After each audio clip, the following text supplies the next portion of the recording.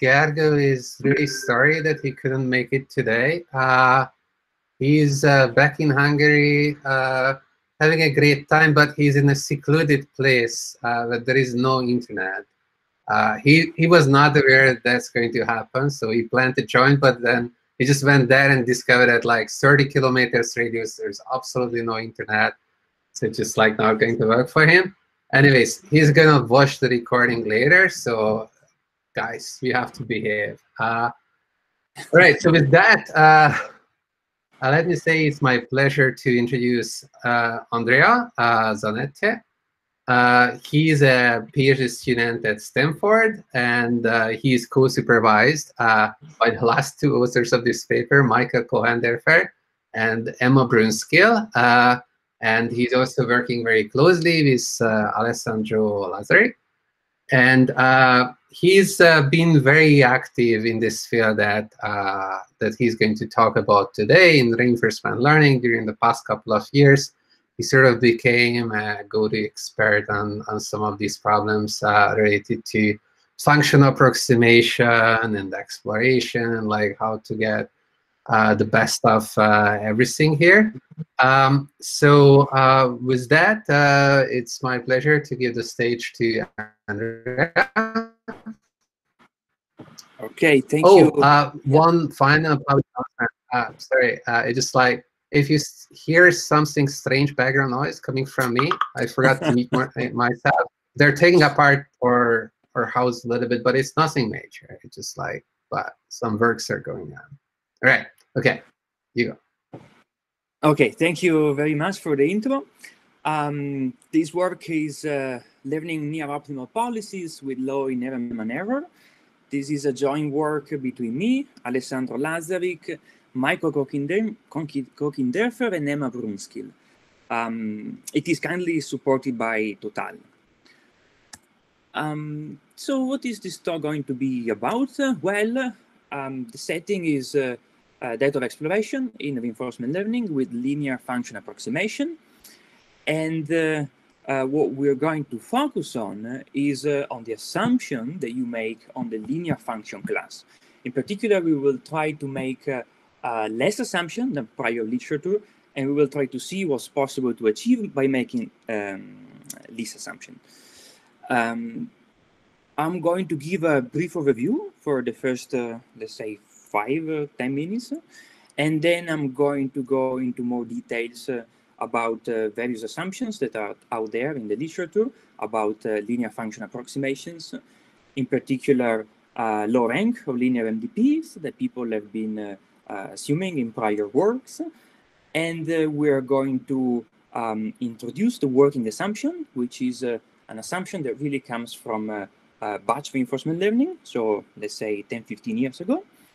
And then we are going to uh, move to the challenges of working under uh, less restrictive assumptions. So we are going to see what modification you need to make to current algorithms uh, what you can gain in terms of statistical efficiency and what you might end up losing in terms of computational efficiency.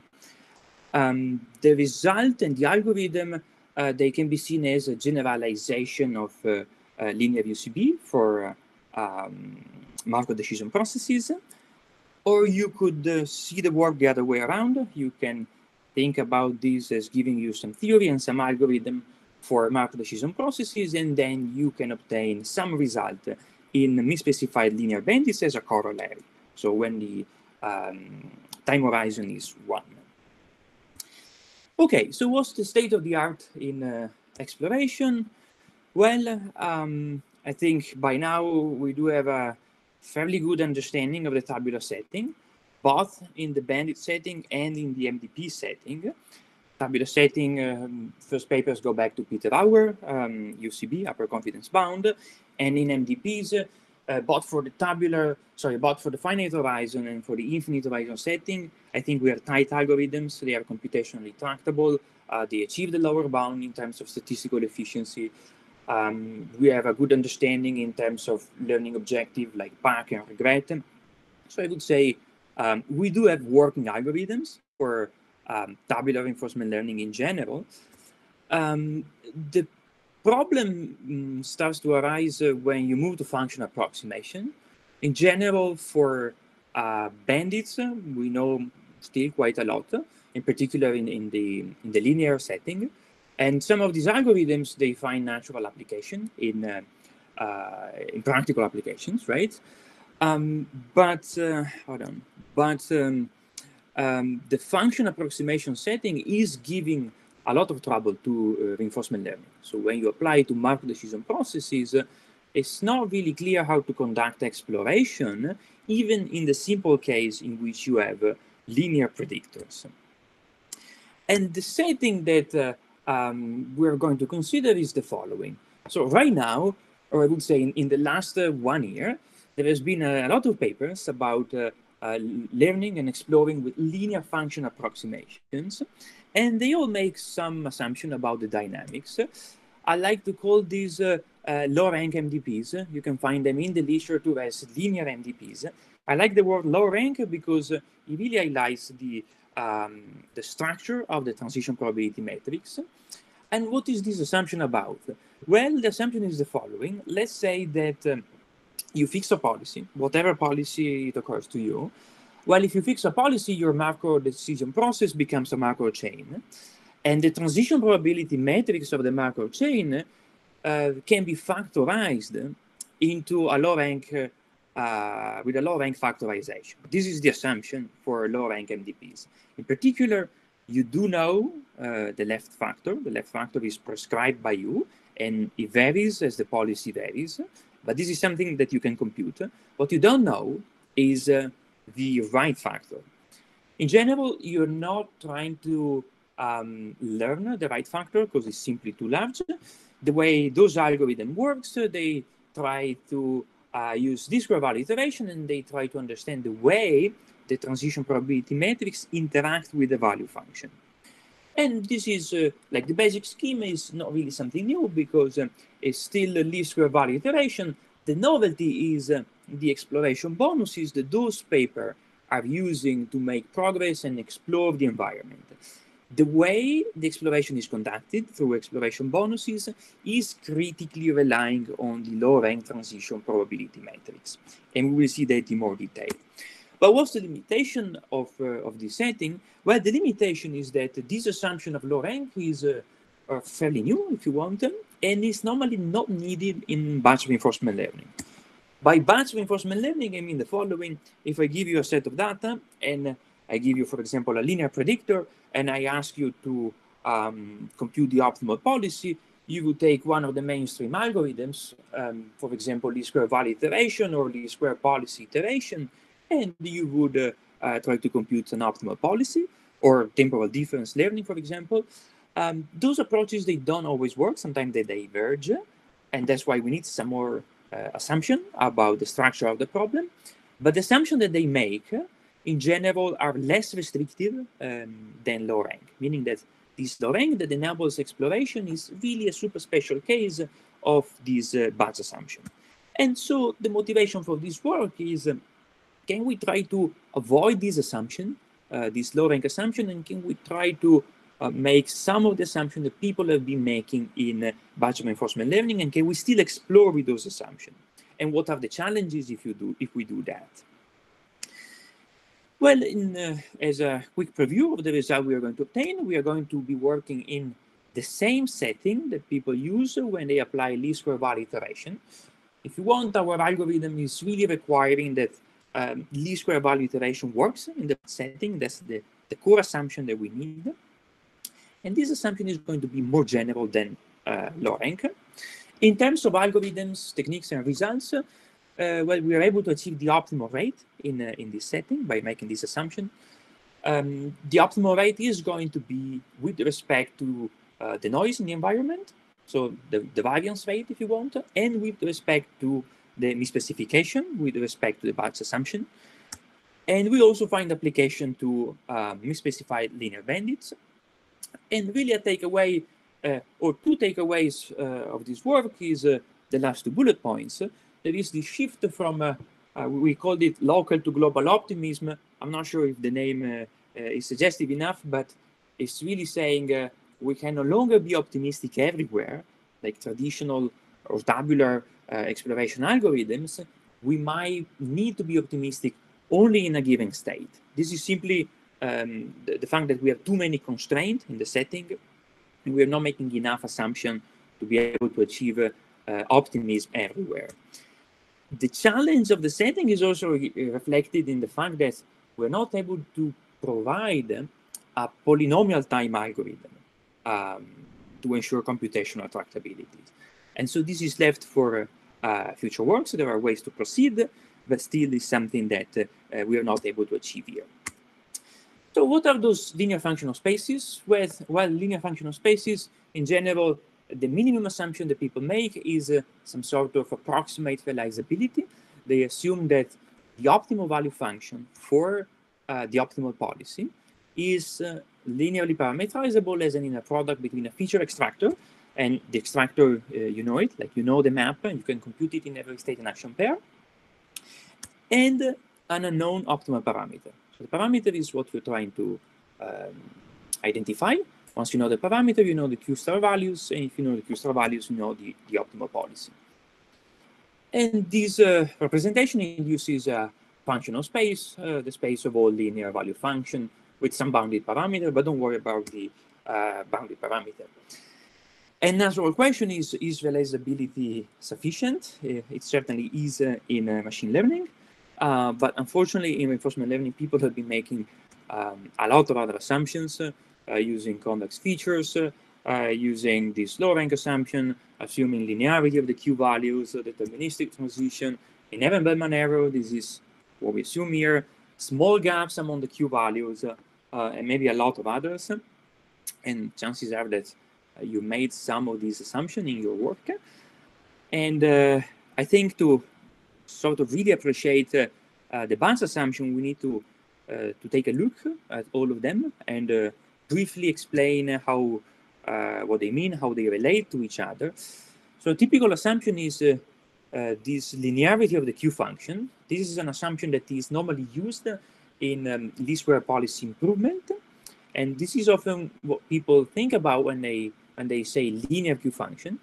And the assumption is really that uh, for every policy, you can find a parameter that is able to represent the Q value as an inner product. So not only the optimal policy, as we said before, but just you know any policy you can uh, represent it linearly. In terms of probably efficient algorithms, we can do um, we have results for batch um, um, reinforcement learning.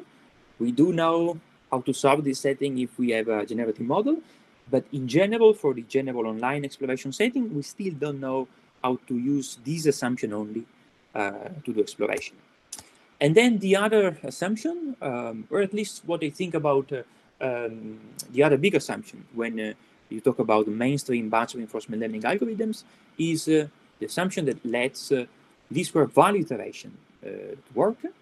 And the, the assumption is uh, zero in Bellman error. And it really means that if you start with a linear value function in your linear functional space, and you apply the optimal Bellman operator, so the Bellman operator or the optimal policy only, well, in that case, the assumption says you're guaranteed to be in the linear space. So as long as you keep enforcing linearity, you keep staying in the same space. We know how to do this uh, in, uh, in batch, and this work is uh, looking at the exploration setting. So those two are the two batch assumptions. Then there are um, others, right? Uh, one is this low rank assumption, I would say is close to these two. It's actually some sort of intersection of these two assumptions. Um, we've seen it before, um, but it's strictly not required for traditional batch algorithm to work.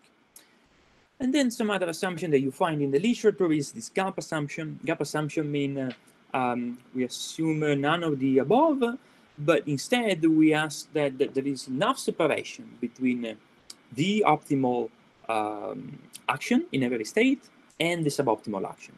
So in every state, there, there has to be a clearly identifiable action, and there needs to be enough separation. So this, this gap uh, between the Q values has to be large enough. In general, this condition is a bit brittle because uh, uh, it's not really able to handle the specification. It's really relying on Monte Carlo a lot um, if you want to, you know, create algorithms uh, out of this assumption. And so uh, it would work if you really if you really have an accurate predictor. Then there is this convexity assumption. Uh, we used it last year. Uh, I see it's coming up uh, on arXiv um, by Csaba um, recently also. Um, the assumption would be that uh, you do have different features and uh, every feature you can essentially express it as a convex combination of some anchor features, these phi and you do know the phi. The challenge in the exploration setting is that you don't know how to collect the features here and how to uh, learn along those features to represent any other uh, feature in the uh, in the space. And then uh, there are, uh, for example, in um, deterministic um, uh, dynamic system, if you have no misspecification, or again, if the misspecification is very, very small, you can still, still find the optimal uh, policy. So what's the relation between this uh, batch condition? And this is going to be the first result that we have uh, uh in the paper. Um, the first result is that uh, the low rank assumption is uh, a strict subset of both batch assumption. In particular, the assumption of linear Q function uh, that is core to algorithms like least square policy improvement, least square policy iteration, the low rank assumption is a, a strict subset. And likewise, uh, it is a strict subset of the assumption needed for least square value iteration to work, which is the assumption that we make in this work. The intersection of the two is uh, this low rank assumption, and yet those batch assumptions are distinct, meaning that uh, there are some uh, uh, problems and uh, problems with different function approximations in which you would prefer to use a least square value iteration type of algorithm and some other problems in which you would prefer to use some least square policy improvement type of algorithm already in the batch setting. And so in exploration, it should mirror this distinction. Um, those two are two strictly distinct assumptions. And then we need to cite the um, Bellman rank work because it's more general than uh, uh, the assumption that we make in this work. Although the actual um, work by Nan is really targeting small action spaces, and so they have both upper and lower bounds in uh, uh, small action spaces. So for rank MDP, I'm going to go a bit faster here. Uh, we do have uh, from the literature to efficient algorithms for generative model online, and they're also computationally efficient. We don't know how to do exploration for linear Q function, and in this work, uh, we are able to achieve sample efficiency here, but not computational efficiency. And this is really the hardness of the, the batch setting, as we'll see in a, in a second. So what's really the key, the key challenge of working in uh, this uh, um, inherent Bellman error setting, which is a superset of low rank. Well, the key challenge is the following. It's going to be contained in this slide. So I think this slide is probably going to be uh, the most important one. Um, how is the Bellman operator acting on the value function using the two different assumptions? Well, if you make this low rank assumption, um, everything that uh, uh, is outputted by um, the transition probability matrix has to live in the range of the value function. Like it has to, to live in the range of this phi function.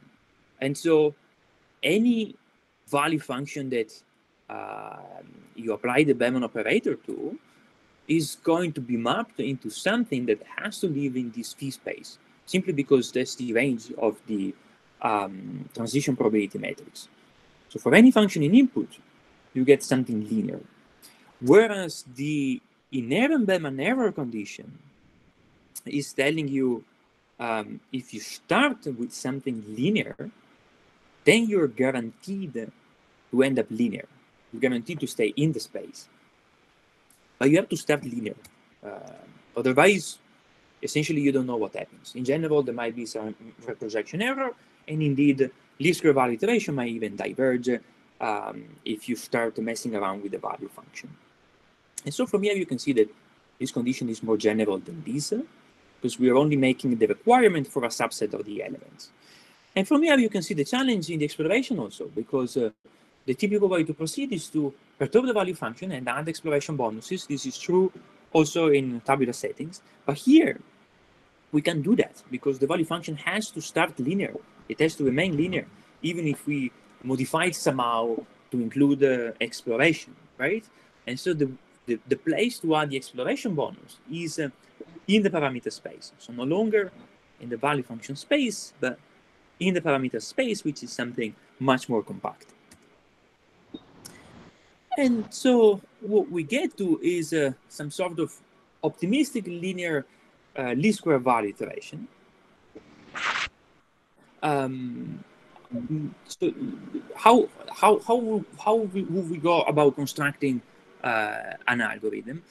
Well, let's take, uh, um, for example, the paper by Jin, by Chi about um, optimistic least square value iteration uh, on low rank MDPs.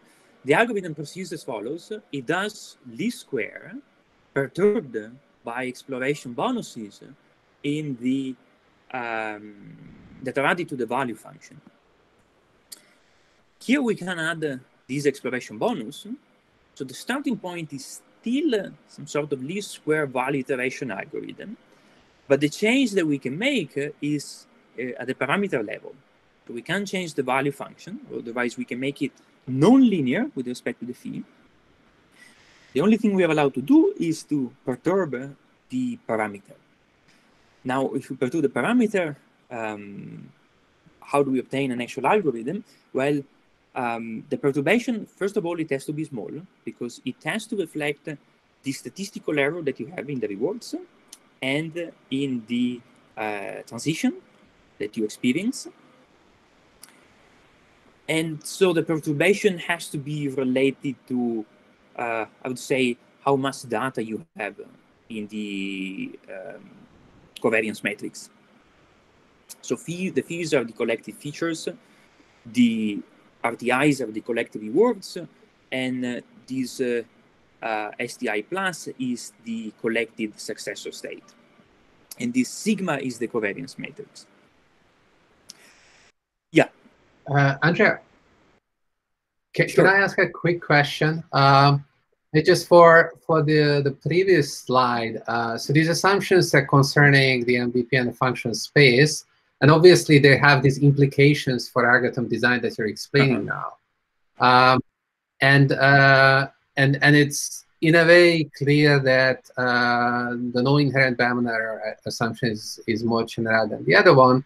Uh, but do we have a simple, like, illustrative example that shows that that is a strict inclusion, like some something that, you know, like what, what is an MDP there, and what, what is a feature map there? Uh, for that MDP, you have one, and you don't have the other. Yeah, so I don't have it here in the slide. It's definitely in the yeah. paper.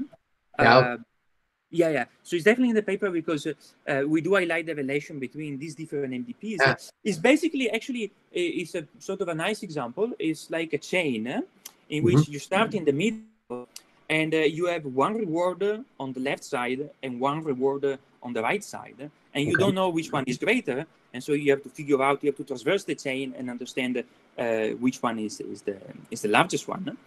Um, the MDP is not going to be low rank because uh, it does have deterministic transitions. And in general, low rank is not able to handle deterministic transitions un unless you make uh, um, the dimension equal to the state space. But it does have a super simple um, function extractor in dimension two um, that is able to, that has essentially zero Bellman error. So. Uh, okay. And what is it? How, how do the features look like? Oh, they look like indicators. Okay. They look like. Uh, so it's, it's a very simple example. Okay. Uh, yeah, I'm sorry I don't have it here in the slide. No, no, it's fine. It's it's fine. We can look it up. It's it's it's it's a good answer. Thanks. Okay. Um, in terms of algorithm, um, so yes, we are adding this psi. Um, and then what are we going to do? Well, if you want to be optimistic, uh, you should try to optimize over this psi. And what are you optimizing? You're optimizing the value function at the beginning. So this guy here, maximum over actions, is really the value function at the initial state. Um, and this is pretty much the only way I know that you can proceed because uh, this Bellman error is making strong requirement. You're not able to uh, mess around too much with the value function. It's a statement only about the optimal policy with respect to a certain value function. So you have to take max here, for example. And then least square is pretty much something that uh, uh, is well established. And uh, you wouldn't want to touch that too much uh, um, in terms of statistical efficiency. And so this implies uh, this uh, move from local to global optimism. Let me clarify the local means uh, um, optimism everywhere, like global, which is the perspective that we have in this paper, really means uh, we are maybe not optimistic point-wise everywhere, but we are optimistic at some initial state. And why is this? Well, because uh, in the n case, uh, you can add exploration bonuses. You take your linear value function, linear respect to phi, and you add exploration bonuses, which are nonlinear because they're a linear product with the covariance matrix. Uh, uh, they do have, uh, there is a square root here, uh, and so it's going to look um, somehow different. Um, but the key is that you can add those bonuses and be optimistic. While here, if you can do that, you can only choose different parameter, different theta parameter, and end up with linear value functions. And already from here, you can appreciate some of the challenge um, because uh, uh, here you might have many solutions that are optimistic, whereas in the inherent Bellman error case, it might be that there is only one uh, solution that is optimistic because you have like many more constraints. You can you can't leave the linear space and so this makes it uh, more challenging from a computational standpoint because uh, uh, really here, if you wanted to be optimistic everywhere, you will need to precisely identify the value function, which means you solve the problem. So in general, we won't be able to be uh, optimistic everywhere, and we'll target the initial uh, state. And so if you run the algorithm, uh, they're going to look like this. So this is kind of the traditional way, right? Uh, it might be Chi Jin's paper or any tabular algorithm or anything else pretty much in the uh, linear function approximation space. Um, they're going to be optimistic everywhere. Whereas what we can do here is we target only uh, an initial state and we try to be optimistic there, which means uh, you need to receive the starting state before you invoke this planning procedure. Otherwise, if you if you do the planning and then uh, you're, you're assigned a random state to start your exploration, you might start in a, in a place which is pessimistic and potentially uh, the, the like nature that is giving you the starting state may uh, be adversarial. So it may give you a starting state where you're not optimistic and you keep failing to make progress. And so if this is a trajectory of the agent, it's gonna look like this. You're gonna be optimistic in the initial state, but then in the intermediate states that the agent um, is uh, um, seeing, you're not going to be able to ensure optimism. Yet, this is enough if you want to achieve uh, an optimal rate. Now that, you, that we got some more um, understanding about the value function and how the algorithm operates, we can see two effects.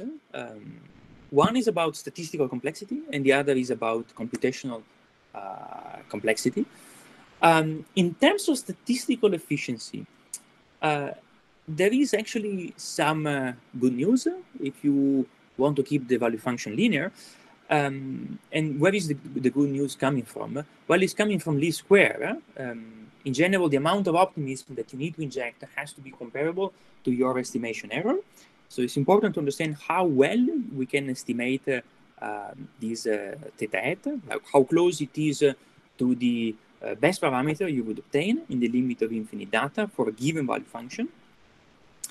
And the issue is, in general, those data are highly correlated in the sense that this value function uh, is really constructed, for example, in, uh, in the lower rank setting, using uh, this theta hat, which is given from a regression using samples downstream. We're working in the uh, finite horizon setting.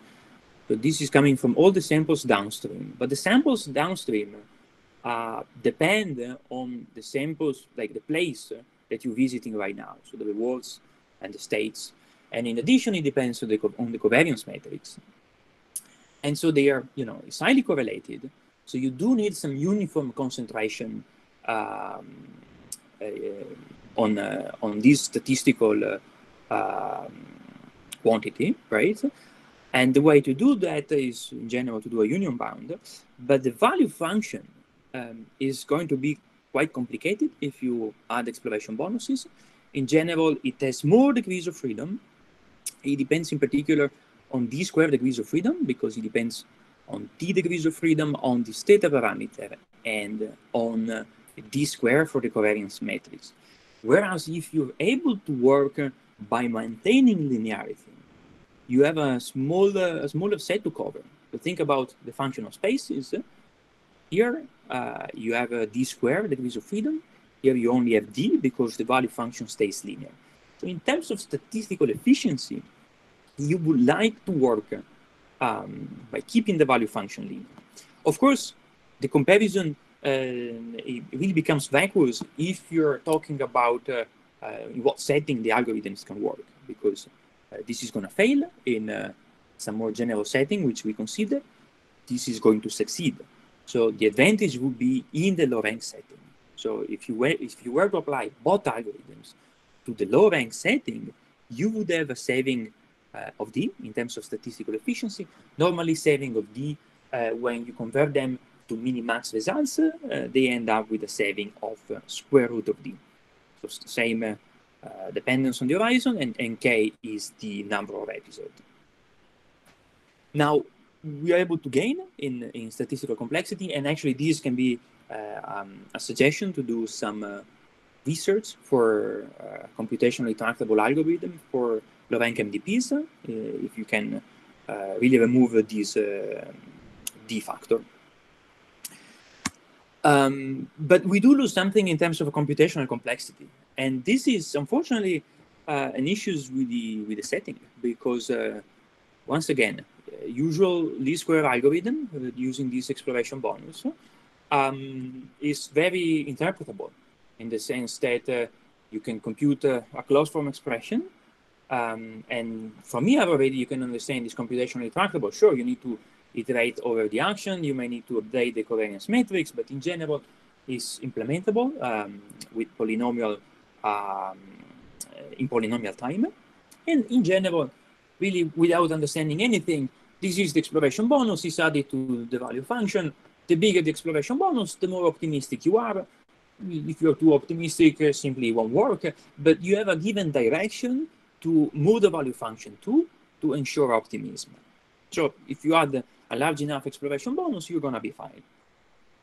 Whereas in this work, if we if you add some perturbation to the value function, uh, you don't really know what's a good direction um, because uh, like is you know going left or going right.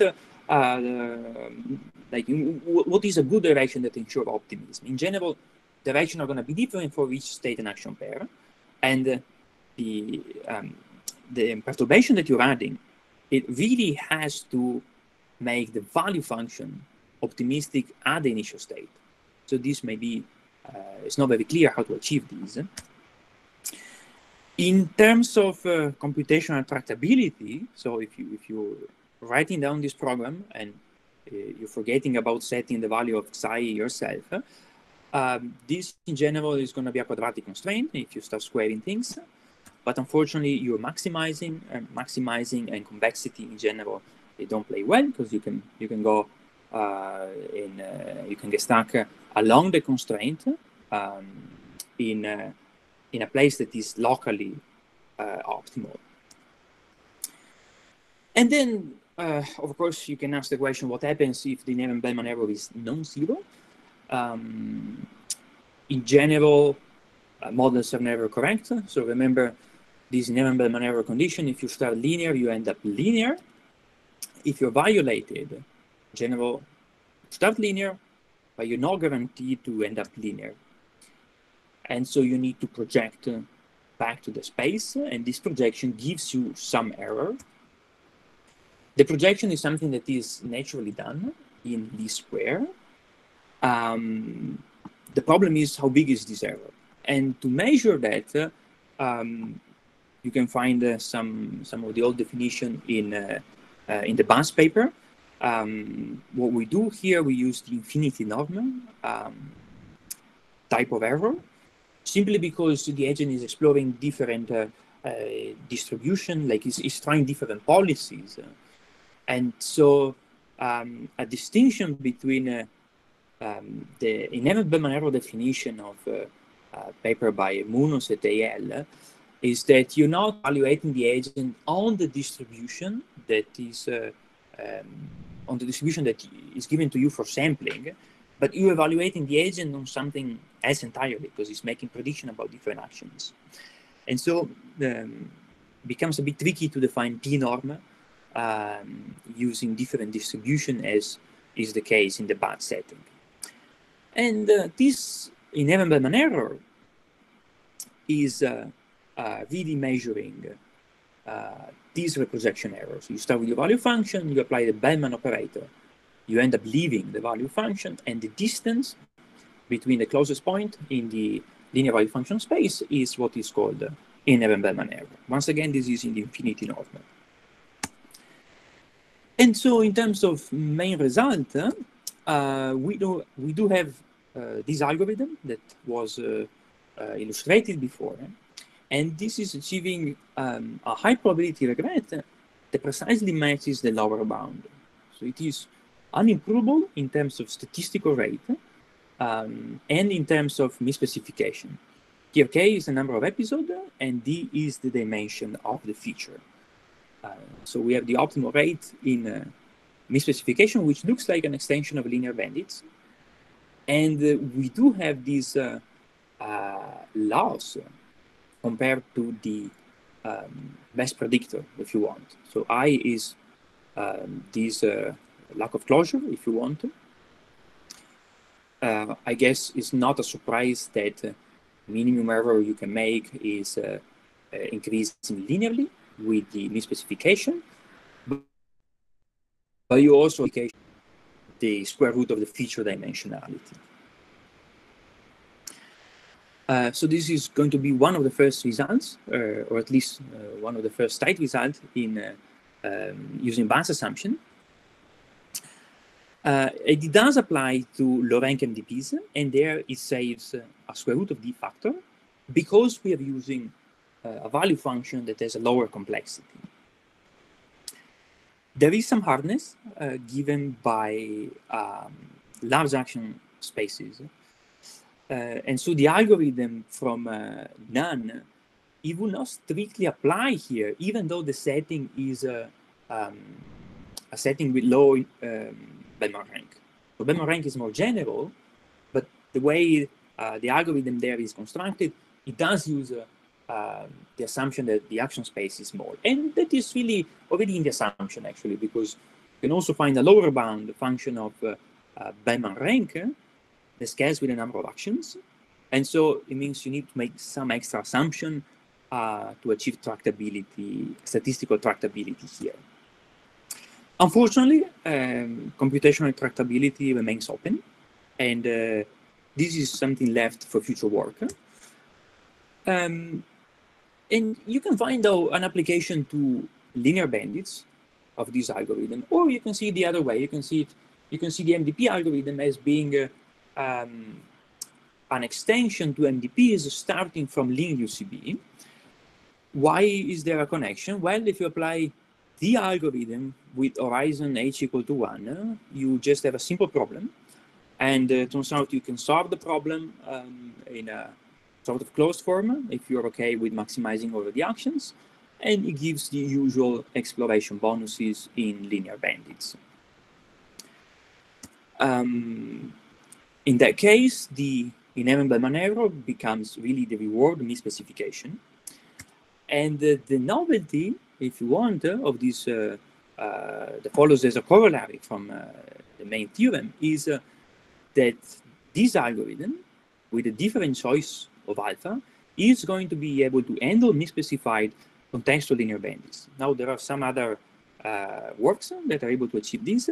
For example, Csaba has a similar work um, that doesn't actually require the knowledge of the misspecification and works if the problem is non-contextual, as well as uh, these uh, uh, modification, the same that we produce here. And this is really a, like, the, the, the, it's really a variation of, uh, uh, if you want, Chi Jin's algorithm, only that is using a sharper analysis in the linear bandit setting to avoid uh, extra square root of d factors.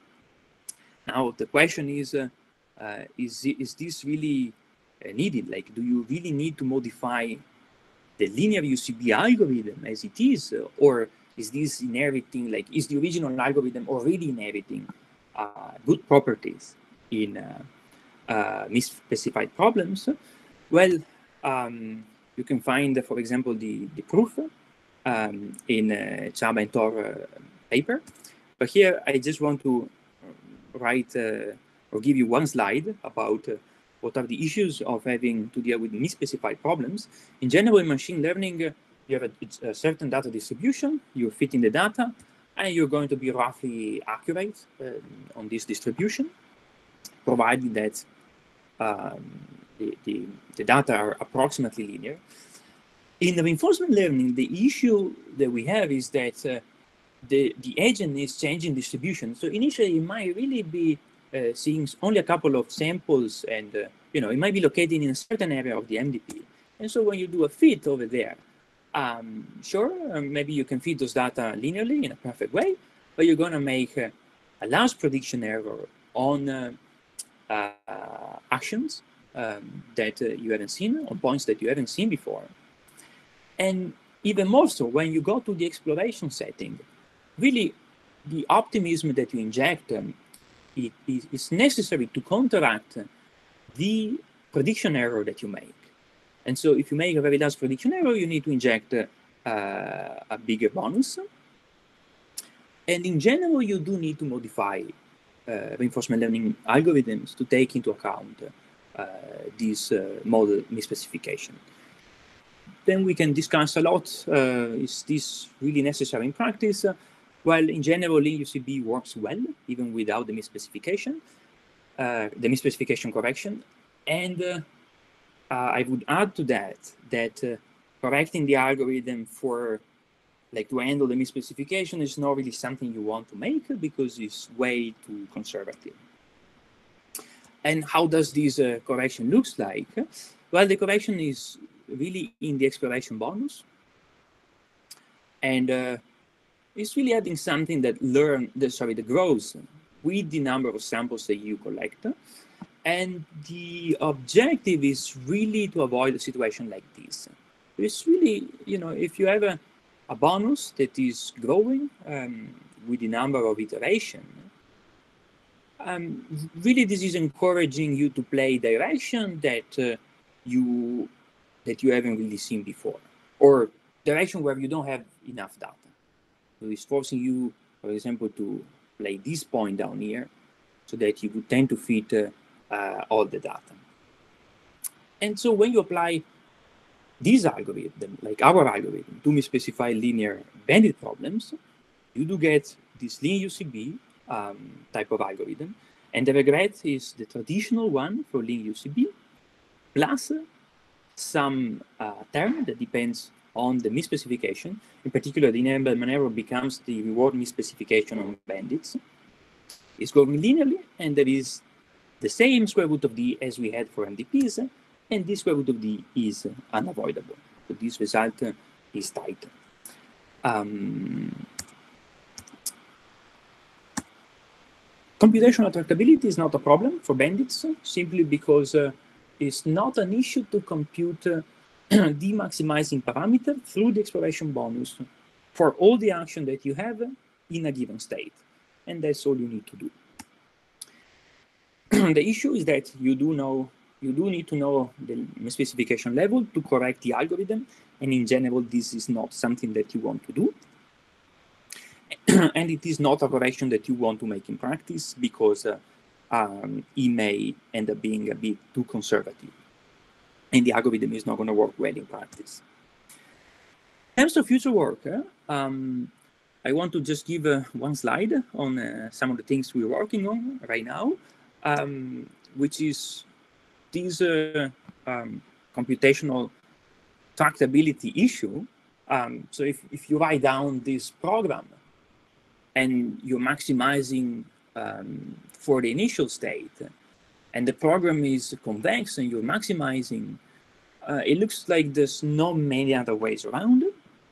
And so we are pulling uh, one of the old ideas about uh, Thompson sampling. You could see Thompson sampling in very different ways. You could see uh, as doing some relaxation on the intractable optimization program. The relaxation is still uh, um, convex and you're maximizing, so it's not any better. But still, you can find many more solutions that are optimistic simply because you're enlarging the space. Or you can see the algorithm, you know, in, in many other ways. And uh, so if you do inject noise, uh, actually, um, you can find, uh, uh you can do some progress uh, if you inject it in the right way. Um, issue is uh, often these randomized algorithms, they are quite difficult to analyze because um, you can't, for example, it's much more difficult to keep the iterates bounded. it's very difficult to put constraints, for example, on the parameter. Your, your parameter uh, that you're uh, computing during the regression may just go away and depart to infinity. You would like to do some projection, but in general, the projection is quite difficult to analyze with uh, um, with Thompson sampling. So if you if you're injecting um, noise to encourage exploration, then it becomes very difficult to understand uh, how to do the projection, how to keep the iterates bounded, and how to make the algorithm work. Okay, I think this is everything, and uh, thank you for your attention.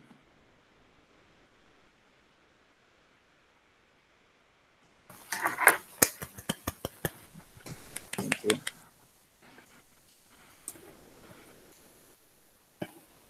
Thanks a lot. Um, I think we had quite a few questions in the chat. Um, I don't know who wants to start. I hope you guys didn't speak because I wasn't able to hear anything. No. If you want. Okay, good. um,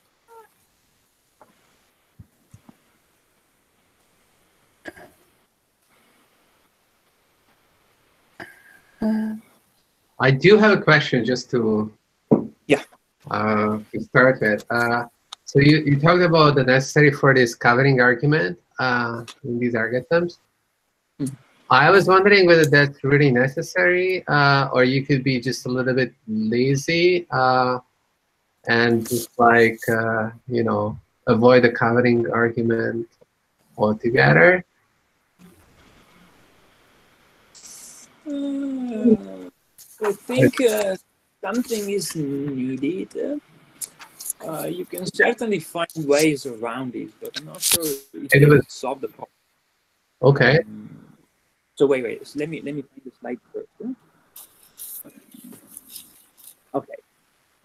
So okay, first let's agree that there is a problem in the sense that um, you take a trajectory, mm-hmm. right, and you have a succession of states, mm-hmm. and then the value function here depends on all the states that you've seen. Uh, sometimes that whatever t plus one up to the end, but those states uh, depend. Uh, on the current one. And so this value function in general is related to, um, to the states, the other states that you see. In particular, it's related to, for example, like all these things are related to yeah, in, in a nutshell, what's happening is that if you're trying to use all data, data that led to the value function that you're trying to improve upon, then you're gonna have this trouble. But maybe being lazy could be that could mean just that Uh, so you decided to, uh, you know, follow this policy and you follow this policy forever. I collect new data and then you use the new data to, to make the improvement. Uh, did you look into what is the cost of, of doing that? Is that too much? Yeah, so actually we did try to do something along those lines, but I think we were losing a factor of eight, which is bad in general. Factor of age. Uh, yeah. yeah. Yeah, I can imagine. Because basically you can discard some of the data, something like that. Yeah. Yeah. Okay, so it's you're trading an age and a D factor, is that? I sort of remember getting something like that. So not here, but if you want to start uh, discarding some data. Here in the algorithm, no, there is only a saving. Yeah. But that's because the value function is, is linear, it's perfectly linear. And so basically the covering argument is not adding anything to what you would get out of linear bandits if yeah. you want. Yeah, yeah. Because the, the D dimension is already implicit yeah. on, so there, in, uh, yeah. Here, there's no, no big price. Mm -hmm. There is no big price, no. You're basically losing a constant factor. Okay.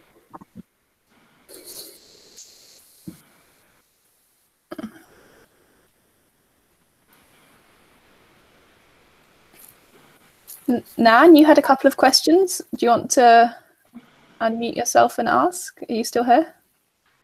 Yeah, I'm still here. Yeah, uh, uh, Andrea, thanks for the great talk. Uh, so, uh, I, yeah, I think I had a comment about LSPI. So uh, I'm not fully sure about yeah. that, but uh, uh, I, I, think for LSPI, you it basically uses LSTD as a um, subroutine, right?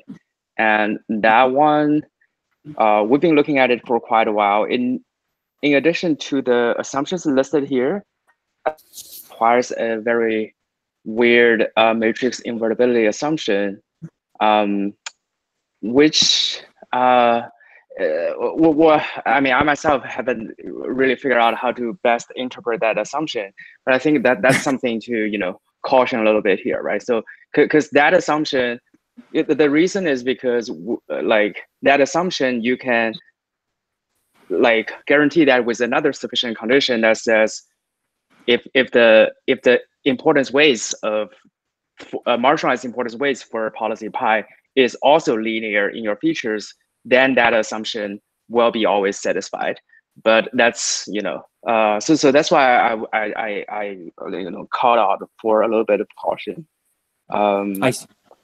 Yeah. So uh, I think my uh, you know, my, my sort of main comment slash question is again, like related to what uh, Akshay said in the, uh, in the, um, in the chat that uh, you can actually adapt the Olive algorithm to the setting by removing the uniform uh, action, uh, uh, the uniform sampling of action that that step in the algorithm. But it results in an algorithm that is quite different from yours. So I, I think there are very two interesting sort of trade-off versus like options here. The first one is actually just the do you want to do random deviation or not? So you don't do random deviation here, right? So it works fine. Uh, but but you know, Olive is designed for this like more general setting yeah. where we actually find that there are some cases where you just have to do a random deviation. Otherwise, you suffer from you know exponential sample complexity. So uh, I I have always been like dissatisfied, unsatisfied with like we have to make a hard sort of choice here. Uh, the other the other uh, difference, which I I'm more interested in learning your opinion on, is you know in, in your case you do you sort of do like the squared version of everything, right? So because mm-hmm. um, inherent Bellman error is you know defined in under like uh, L2 sort of uh, notions, mm-hmm. whereas Olive does mm-hmm. everything in some sense in L1, right? So we, we calculate this what we call mm-hmm. average Bellman error, where this is like very similar to what people do in like you know ALP kind of setting. Mm-hmm. Um, what's your take between L1 and L2? For for me, it seems to me that L1 is sort of closer to what we need because you know eventually the the the goal of RL is to maximize expected return, right? So our, our Oh, yeah, yeah, there's yeah, no sure. square. Yeah, love to hear your thoughts on these points. No, yeah, the, you, you're making a super valid point. Um, so yeah, so in general, if you're able to work in expectation, um, and you're like approximately correct in expectation, that's kind of what you want. So here, for example, we have these conditions on the on the infinity norm. Probably they're coming because we are using uh, least square. Um, but in general, we would like to go in uh, in the direction that you're saying. So we would like to uh, measure things uh, either in L1 or to say, you know, in expectation we are approximately correct, uh, which is, you know, roughly the same thing. Um, so yeah, definitely.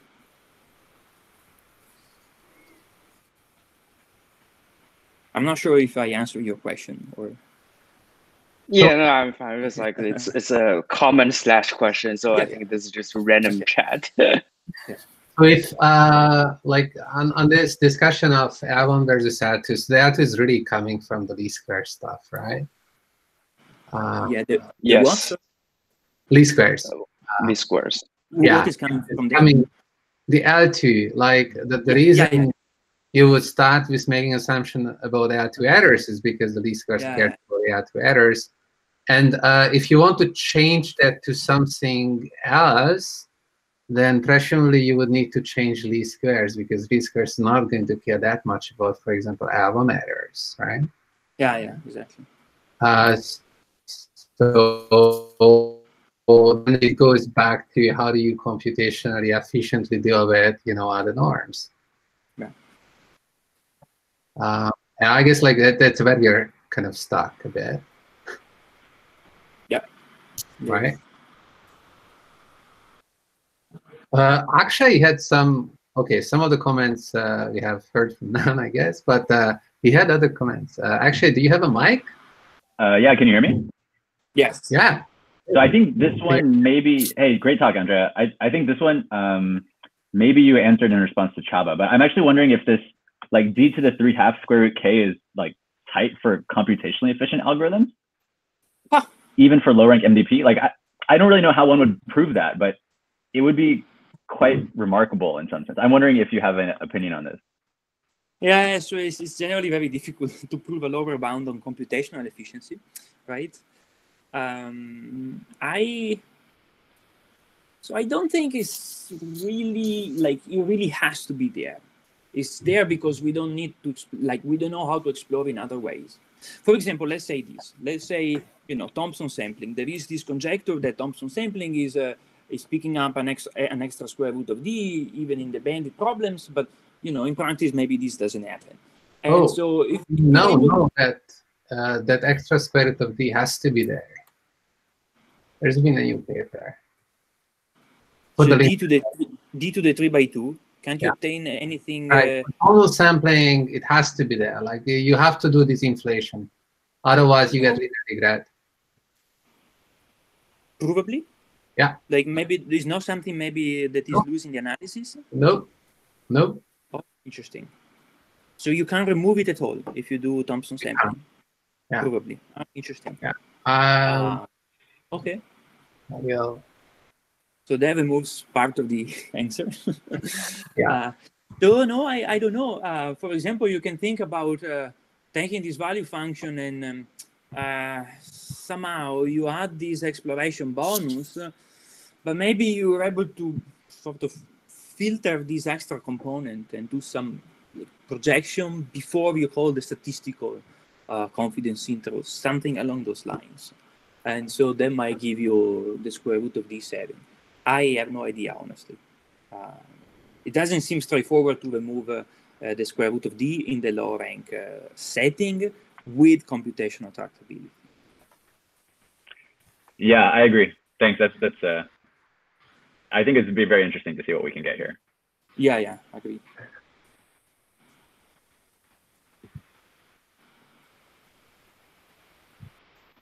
Um, okay, can I, I I realized I had another problem or question. Uh, so can I ask him?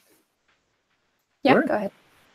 Yeah, so uh, I mean, uh, regarding the global versus uh, local optimism, uh, my sense is that yeah, according uh, like just as what I wrote in chat, uh, I think in you know even if your algorithm maintains local optimism, right? I think I mean I, I haven't like uh, really like uh, walked through that many uh, exploration analysis, but among the ones I've seen, in your proof, you always it seems like you always only need uh what was so uh, global optimism, right? Uh, are there Yeah. exceptions, Andrea? What, what's do you know if there are exceptions or all the analysis you've seen also work like that? Well, what do you mean if there are exceptions? So thi- this is something that, like, we require to be optimistic at the initial state simply because the setting doesn't allow you to be optimistic everywhere unless you know. right right uh, yeah yeah yeah I, I agree i agree this is uh, this is your setting like and also that's the same for OLIVE but i'm saying like for for example even in the tabular setting where you can afford to be uh, optimistic everywhere in the algorithm but it seems like in the analysis when you prove that you can do efficient exploration it seems like being optimism uh, being optimistic at the initial state usually is enough to induce uh, Yeah, yeah. good Yeah, yeah. exploration is that correct Yeah, yeah, yeah, definitely, definitely. Actually, uh, the analysis of Thompson sampling they work that way.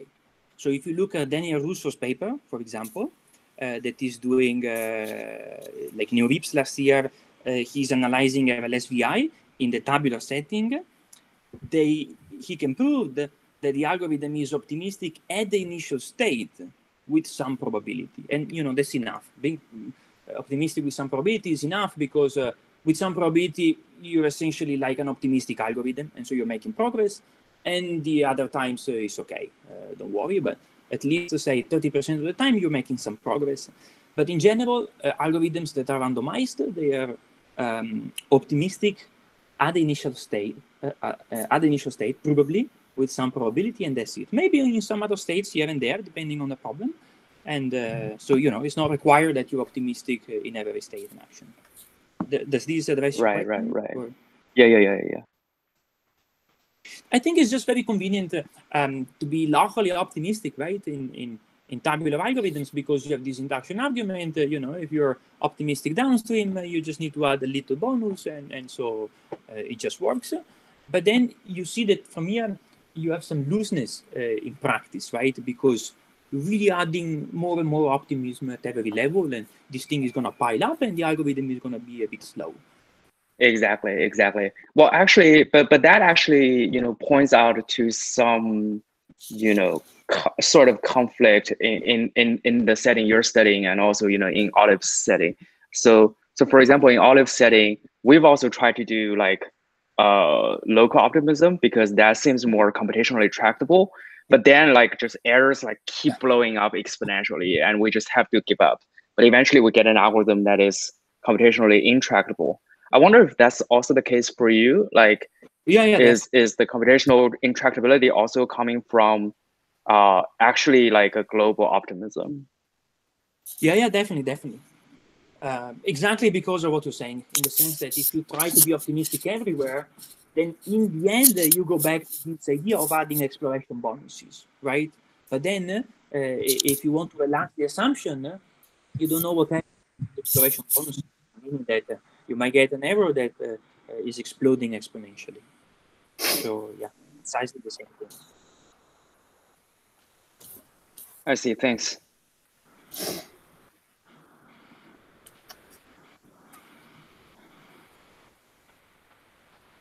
Hmm.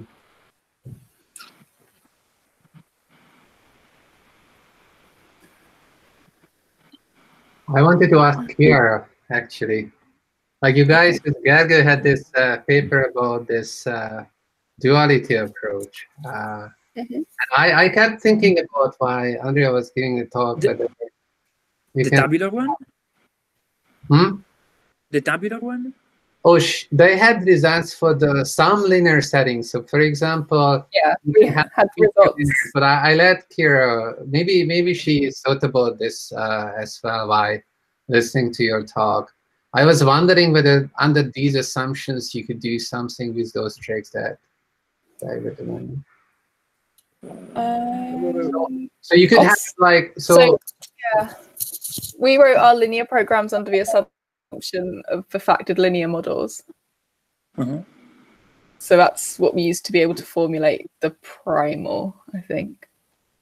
Uh-huh. And then once we did that and took the dual, we got something that looked quite similar to what your optimization problem is here. In if you formulate the primal in a certain way. Yeah. So the global optimism was definitely there. You Yeah, and So it was local. If you so there's different formulations of how you write. So our primal, we were looking at confidence sets around a transition function, which could be factorized if we're considering the linear case. And depending on how you construct those confidence sets, you can get the local, like um, like Chi Jin and their results, or you can get this global result as well. But we, yeah, we didn't really look outside the factored linear model, so I don't know. yeah, but this is just a little bit outside. Yeah, it is only a little bit, right? But- Maybe a really question to this is that uh, so uh, it seems that we are navigating somewhere in between model based and model free with these uh, models uh, or these these algorithms. And so, what, what are your thoughts about that? Like, uh, could we uh, like maybe the model based um approach? okay, it's Well, if- computationally usually hard, but uh, uh, there is this result by Ciara and Gergő that says that sometimes it's it's not harder. Uh,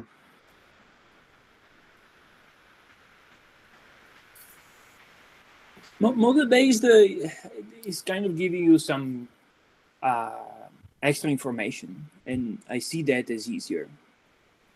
Um, yeah, in terms of uh, lower cost for exploration. Um, in general, in general, a problem of model-based is that you don't know how to do the computation. yeah, like here. Like here, sure, like here, but maybe here you can do something like you know this Thompson sampling thing, right? And Well, I thought to do the same thing with model based. no, but how do you compute the, the good value functions? Well, once you uh, once you sample a model, let- let's say you use some Sure, you, you can do solves in the funny problem. True, true. yeah. So it seems to me that it's like, yeah, In general, it should be a bit safer to do model based. I feel you have less of these problems of extrapolation and explosion of error because you know that's your p matrix, Yeah. and it should look like a transition probability matrix, even if it is empirical. Like even if you're uh, if it's coming out of some model that you have, uh, I think you you're able to make it look like a transition probability matrix. So it shouldn't um, extrapolate. Mhm. This is what, I feel. okay. I think it has less less of that issues. Well, okay, that, that's funny because uh, at one point I realized that, well, I, I kind of realized that in model-based RL, you don't necessarily need to uh, enforce that your models are look like transition kernels, and I was kind of happy about that because maybe it helps with computation. Uh, and now you're saying that because it's uh, transition No. kernel, maybe that's going to be advantages in some other ways. Uh, it's maybe true. Yeah. So at least you have the option, right? Like you should be having the option of saying, uh, uh, okay, it should roughly look like a transition probability matrix. Mhm. Uh, yeah, No, not really. I mean, yeah, I don't know. All right. Um, I have a quick question. Can I ask? yes. Sure. Uh, I was wondering, uh, is it's more high level. I was wondering what is your thoughts uh, if we want to extend this uh, low rank factorization for distributional setting. Um, uh, like, do you think uh, whether it's it would be possible and would, what would be the implication of this, and especially with respect to the bound that that you you provided? The distribution of setting. What do you mean by that? I mean, like when when we consider distribution over the value function, right? Um, in distribution on RL overall, I mean, uh, like either the value function or or um, or basically um, the reward, um, if you could say. Um, yeah, so I think in general the, the low rank setting is a nice setting to play with, and uh, you can get pretty far in terms of obtaining results because essentially you can reuse all the machinery from uh, either uh, linear bandits or, or at least you know these tabular ideas of adding more and more optimism. So if you have some ideas that work, for example, in the tabular setting, let's say reward free exploration, just you know to name something completely different, you should be able to pop it to the rank set out. And so pretty much anything that you have in mind should go through in the low ranks. Thanks. Yeah. Uh, great. Alex, do you want to maybe stop recording?